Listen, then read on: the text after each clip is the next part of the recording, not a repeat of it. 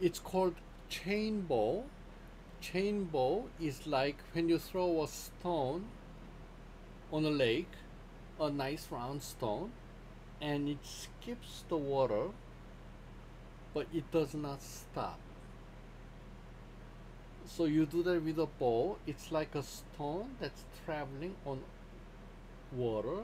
It doesn't stop, but it lifts a little.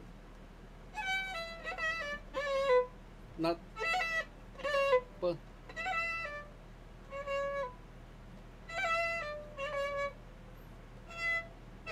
not, but it doesn't stop. Uh, it's a it's a nice stroke, an advanced one.